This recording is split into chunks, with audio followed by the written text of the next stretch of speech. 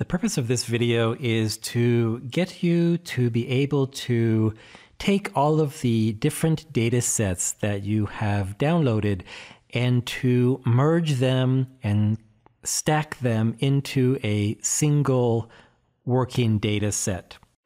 And you'll remember that we looked at before a representation of what my working data might look like for my COPD model. And so we have the different um, variables that I'm going to be using in my model. Here's my outcome variable. I'm going to have some variable that's going to represent my exposure. And then I'm going to have all of these variables on which I want to condition my model. And we said that the way the data are structured, one row of data are the data that we have for one person in our data set. And we saw also that the situation we have is that the data we need are not only in different data sets, and so we need to put the data together for one particular person, but we also have data from two different cycles. I'm using the 2007 and 8 as well as the 2009 and 2010 data. And so we need to not only connect across an individual, we need to stack the data from different cycles of the NHANES survey. So if we come here to Windows Explorer and we look in the NHANES folder that we've created, the first thing I want to do is I want to create a new folder that will be the repository of the working data, and I'm going to just call it working data. Now, I like to do this. I like to have one folder for my original data, one folder for my analysis, and one folder for my working data. Generally, I don't have a temporary folder, but this is just because we were downloading a uh, data set that uh, was in a different kind of format rather than SAS format. So we had an extra folder here for those export files. Now, my SAS data sets are in the data folder, and I have eight of them. And I know that I'm going to have to use all of these data sets in my SAS code, and I'm going to have to create a libname statement to point to this folder. So I'm just going to go ahead and pick up that address. So I'm going to click copy address as text. And now I'm going to go over to SAS and I'm going to start writing my code. So we already know how to create a libname statement. Oh, I've got the caps lock on. Let me do this. And these are going to be my data. So I'm going to use the label data as I always do. And then two single quotes, a semicolon, and then the path name. Now I'm going to save this. Now I think where I'm going to save this is going to be in working data, and I'm going to call this create working data version 1. And so now what I need to do is I need to read in all of these SAS data sets into my SAS code. Now, we already learned how to do it for demo E. Let's go ahead and do that. Data demo E semicolon set data, that's the pointer, this lib name pointer, a period, and the name of the SAS formatted uh, data set, which is here demo E, a semicolon, and then a run statement. Now let's just save this and let's just see if this runs. So what have I got here?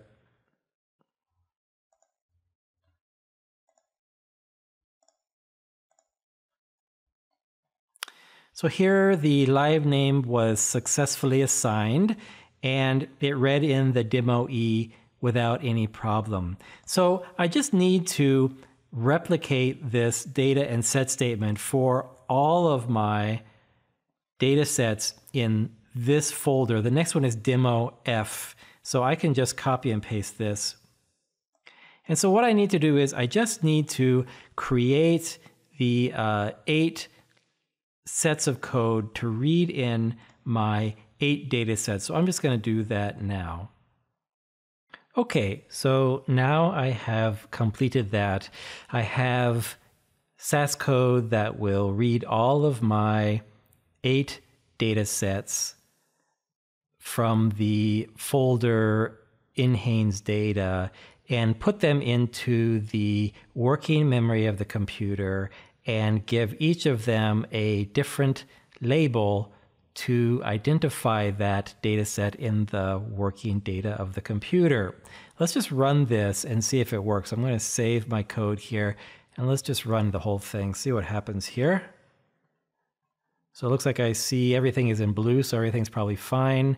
Um, you can see the number of observations that were read in each data set, and there are no errors, so everything is okay. Now, the next thing we want to do, we have, we're going to be uh, connecting these data sets together. And right now we have downloaded all of the variables from all of the data sets. And if we start putting these together, we're going to end up with a really huge working data set. So what we want to do at this step is to limit each of these data sets to the variables that we want to actually use in our model. And if we forget a few now, it doesn't matter. We can come back later and add some more. It's really fast to create working data. And we're going to have this SAS code saved, so it will be easy for us to modify it at a later step. So to think about which variables I need in each of these from, from each of these files, I'm going to come back to this Excel spreadsheet that we created. And you'll, you'll remember that we uh, kept uh, track of all of the variables that we're going to use and the data sets in which they are found. So here I have this first variable is from the SPX underscore E and SPX underscore F. So this first variable, if I just copy it, control C, and I come over here to where I am uh, bringing in the data that is called SPX. What I'm going to do is I'm going to just put in a line of code here, and I'm going to use the command called keep. And what this means is keep uh, these variables that follow the word keep. So the first variable I'm just going to put right here. And these variables are going to be the same for SPX underscore E and SPX underscore F. And so uh, I'm just going to create the line of code here first in SPX underscore E, and then I'll copy and paste it. Now I have a number of different variables that come out of SPX E, and so I need to just go through them one by one and put them into my SAS code. And I think to do this more efficiently, I'm going to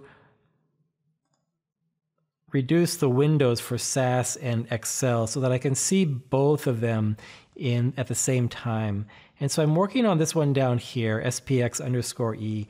And so what I can do is I can just go through my Excel file and just one by one, I can copy these variables.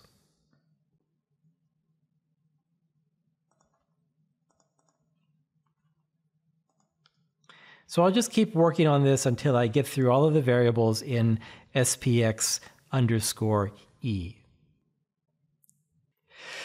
Okay, so now I have finished that. And the what I need to do is at the end of the list of variables that I want to keep from the SPX data, I need to put a semicolon. Now, one variable that I haven't put in here, which is actually going to be included in the keep statement for every single data set, is a variable that's called SEQN. Uh, let me make it all caps so that it matches the other ones. And SEQN stands for it stands for sequence. And this is the ID number for each of the participants. And every single data set in the NHANES contains the variable SEQN. And this is the way that we're going to be able to identify which data go with other data from different data sets in the NHANES data. And so we need to um, we need to include that for all of the keep statements that we're going to be making. Now, the data or the variables for SPX underscore F are exactly the same as the variables for SPX underscore E. So I'm just going to copy and paste this. So I have completed two of them now. Let me save this. And so what I need to do now is I just need to do this for all of the data sets by going through my list down here in the Excel file. And so what I'm going to do is I'm going to fill in all of these based upon what I've written in the Excel file. Okay, so now I have completed all of the keep statements for each of my data sets, and I just copy and pasted the variables from my Excel file that I needed from each of these data sets. And again, we can add more later if we need them. So don't worry if you forget something. And you'll notice that each of the keep statements includes SEQN. We need that to link the data sets together. And there's one other variable that you might not have uh, picked up and um, which is the RIDSTATR variable. It's in the demo, it's in the demographics data set. And I would like you to add this one in. This one uh, is actually the variable that tells us if the person uh, was only interviewed in the household or if they uh, had both the household interview and the MEC examination. And that's going to turn out to be important later on. Now, probably most of you will have uh, already included the demographic data in your model because it has things like age and sex and uh, incomes, and those are very common. Um, but if for some reason you didn't need the demographic data in your model, uh, why don't you just go ahead and download that and convert it into a SAS file and include it now in your working data? You can just use sequence and the uh, variable here, RIDSTATR, because we're all going to need that variable. So let's just go ahead and see if this runs. I'm just going to run the whole thing. Um, let's see what our log file looks like. Okay, so it assigned the library name. I didn't have to do that, but it doesn't take much time, so I just did it again. So let's look at this first one. So here we have uh, it's reading in uh, demo underscore e from the hard drive into the working memory, calling it demo underscore e. The keep statement has eight different variables in it. And so what you can see here is that the work dot demo underscore e. And remember, work indicates what the uh, data set that's in the uh, the temporary memory of the computer. It has 10,149 observations and eight variables. So that looks right. So it's got eight variables. So we can see that each of these ran okay. It has the number of variables uh, that we requested in the keep statement. So it looks like everything is working well. So the next thing we're going to do is we're getting ready to link these data sets together. And one of the things that's required for that linkage is that the variable you're going to use to identify the same participants at different data sets, and in our case, that variable is SEQN, the data need to be in order sequence on that variable. So what we're going to do is we're going to now we're going to sort each of the data sets and put the uh, put them into SEQ in order. And so the way we do that is in this line here, after the keep statement, we're going to use uh, a new procedure that we haven't learned yet. It's proc sort with a semicolon. And um, as you might guess, it sorts data sets. And so the way it works is you say proc sort semicolon. The next command is by. And this is, it's asking, uh, you want to sort the data set by what variable? And so we want to sort it by sequence, S-E-Q-N, with a semicolon. And so this is enough, proc sort by sequence with a semicolon after each little piece. Um, that will sort the demo underscore e by sequence. Now, this sort is going to happen in the working memory. It's not going to happen to the uh, data set that is on the hard drive. So we're always working with the file that's indicated by this data command right here. And so we just want to sort all of these working, all of these uh, data sets by sequence. So I'm just going to copy and paste this code into each of these.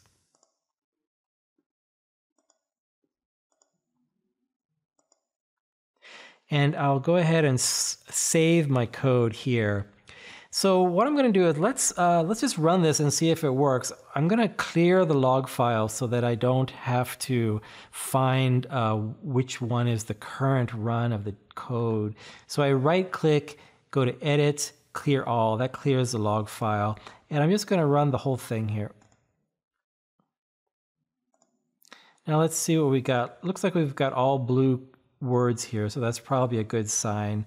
Um, so the here's a sort one, and so um, it tells us that there was um, 10,149 observations in the data set before it sorted. After the sort, um, there were still the number, same number of observations, and there are still eight variables. So this is what it looks like when proc sort runs well. Um, if there's a problem, it'll it'll give you a warning. Usually, I think it's in red uh, letters. We haven't seen one yet, but um, I'm sure we'll I'm sure we'll have a chance to see an error um, as we go through this. Um, so it looks like everything's fine. So we've got all of the data sorted now. And so now we are ready to start merging these together. And I'm going to first merge the 2007 and 8 data together and then I'm going to merge the 2009 and 10 data together. And then after I've merged them uh, for you know the same uh, individual across files, then I'm going to, stack the two uh, the two cycles. So um, one thing I can teach you now is the way you write a comment in SAS is you start it with an asterisk. And then after that, whatever you write is a comment. So I'm going to put a comment in here just to tell me that this code is for the 2007 and 2008 data. And so what I'm going to do is we're going to merge the files. And the 2007 to 8 data are the files that end in E.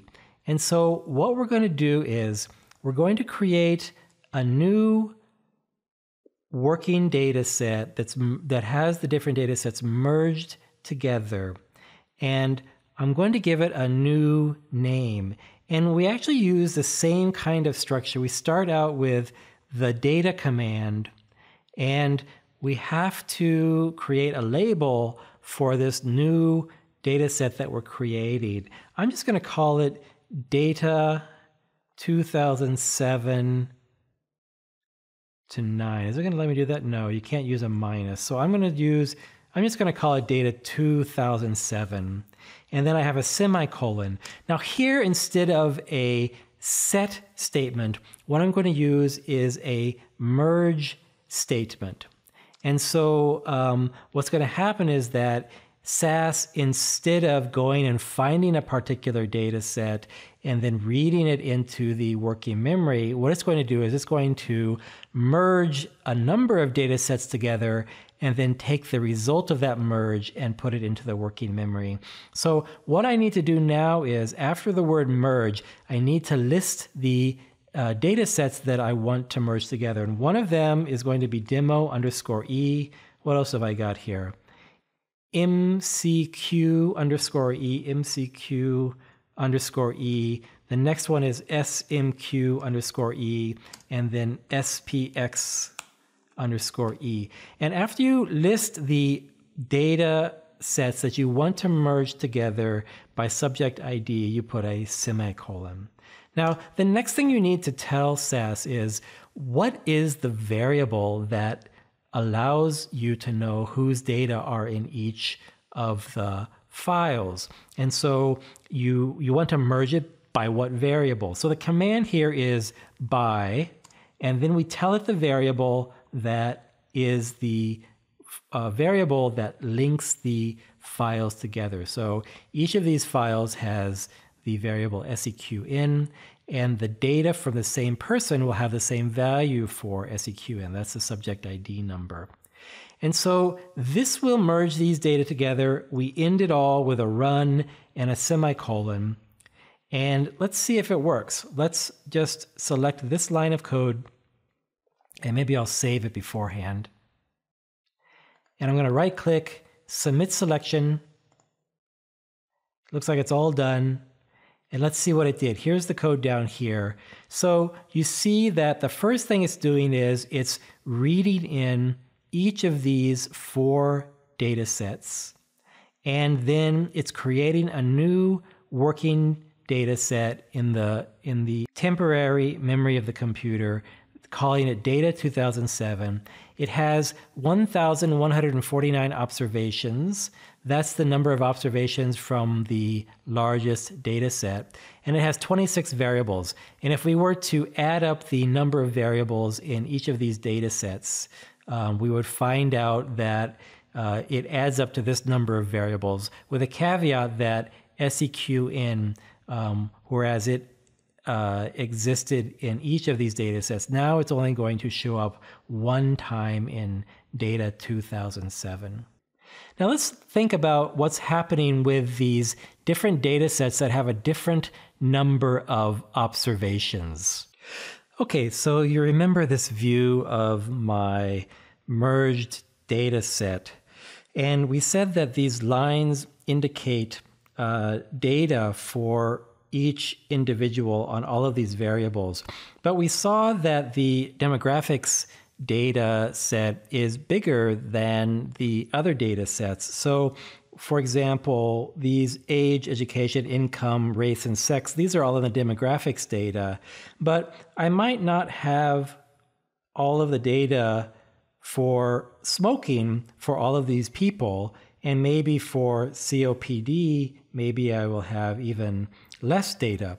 So, what's going to happen if we merge these different files together that have different numbers of individuals? Well, what's going to happen is that if an individual, if a, if a subject ID, and actually we can change this now because now we know the true name of it. This, this variable is called seqn. If an individual if a, if a, if a sequence number exists in any one of the data sets that you're merging together, then SAS is going to include it in the merged working data set. And it will just include the values for the variables where they exist in the data sets. And so in this case, where if, for example, we didn't have smoking information for individuals six, seven, and eight, but we did have their demographic data, then what's going to happen is that the data here for num- for smoking for number six is just going to have a missing value, and we usually indicate missing values by a dot. And so the same will be true for COPD. So after you merge your data, you might find that for some variables, the number of uh, missing data, uh, individuals with missing data goes up for this reason. Now, for now, we're not going to be worrying about this. We will pick it up later. Um, for now, we just want to get all of the data sets put together into a single working data set. Okay, so you can see here the demo underscore E has 10,149, MCQ underscore E has 9666, etc. So the final data set has 10,149. Okay, so now what we need to do is we need to do the same thing for the 2009 and 10 data. So I'm just going to update the code based upon what I had before. Let's call this 2009. Now, all of these are going to be Fs instead of Es. I'm going to save my code and then um, I'm just going to run this and see how it goes. Let me clear the log file first. Okay, let's see how it looks. Looks like it is okay. So again, the final working data set has the same number of observations as the demographics data. Okay, so I have created two files. These are merged by the sequence number. So what I've done is I've connected the data for individuals that are contained across different files. I've connected them together using the sequence number, and I've put that into the temporary memory, the working memory of the computer. The 2007 and 2008 data, I've labeled that data 2007. The 2009 2010 data, I've labeled that data 2009. And so now what we want to do is we want to stack the data. Let's take a look at it. So if you look at this diagram again, what I've just done was to take the variables that were contained in each of these data sets. And here on the top, we have the 2007 to 2008 data. And here on the bottom, we have the 2009 to 2010 data. And I have merged these files together using the subject ID number. Uh, we know that this is actually called sequence, S-E-Q-N. And I've connected these together. And I've done that for both the 2007, 2008, and the 2009 and 2010 data. And so now what I want to do is, is I want to stack these two data sets together. Now, this is only going to work well if the variable names are the same in both data sets. Now, I'm assuming that probably for most of you in the class, um, the, the variable names are going to be the same because the NHANES data across different cycles are actually quite consistent with each other. But if you happen to have a, a rare case where you have variable names that change across the um, different cycles or the coding changes across the different cycles, um, just uh, send me a message and we'll deal with your cases on a, on a one by one basis. And so now what we're going to do is we're just going to stack these two data sets together after merging them by the sequence number. Okay, so the final step is we want to stack these two data sets. And the uh, way we do that is we say data and we, I'm going to give this a new name. I'm going to call this the working data. I'm just going to call it work data. And the way we stack two or more data sets together is we use the set statement like we did before, but we list both of the data sets, two or more data sets that we want to stack on top of each other and then we finish that with a run command. Now let's see how this works. Let's go ahead and clear the log file. And I just want to, let me save this. So I just want to run this one line of code, submit selection, and let's see what we get. Okay, so now we can see is that there were 10,149 observations in the 2007 and 8 data. There were 10,537 observations in the 2009 data. And now, when I stacked them, I have a new data set. It's in the temporary memory. It's called work data, and it has 20,686 observations and 26 variables. So I've created a working data set, but it's in the working uh, or the temporary memory of the computer right now. And so the last thing that we want to do is we want to write this to the hard drive to save this working data so that we can just call it from the hard drive in the future and we don't have to go through this building of the working data each time we want to work with our data. So we have to decide where we want to save the working data and I want to save that in the working data folder. And so I'm going to come here and I'm going to grab the address for it, go back to SAS. I'm going to create a new lib name statement up here. And I'm going to call this one work, two single quotes and a semicolon. And there is the path I'm just going to go ahead and run this. Let me save that. And let's see if it ran. Oh, didn't work. Error in the libname statement. What did I do? oh, I can't use those. So the SAS system library work may not be reassigned. So I'm using a reserved code uh, in SAS. We saw before that it calls the data sets it has in temporary memory work dot. Um, it says that it, it has reserved that word for itself, so I can't use it. So here's an example. Here's our first error. You can see that the errors are in red here. Um, so let me choose a different name. How about working? Let's see if SAS will let me do that.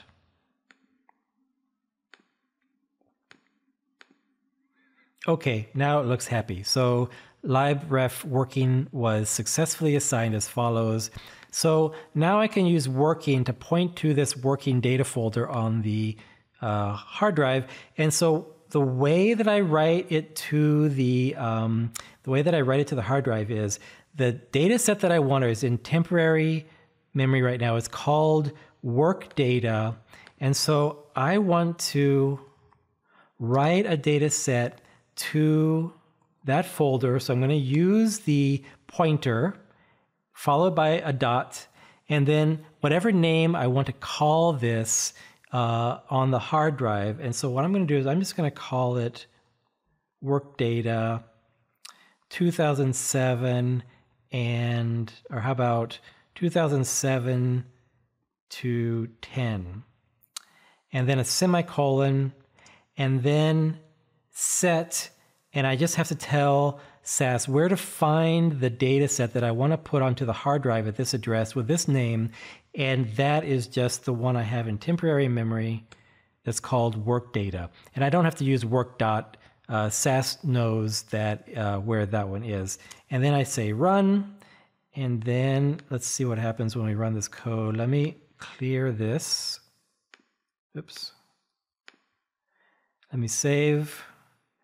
And then let me run this one line of code.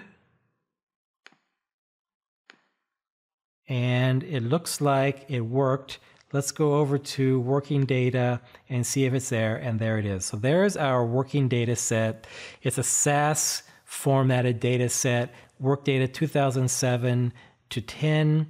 Um, that's the name that I gave it. And this contains the 20,686 observations. Those are the number of individuals in the data set.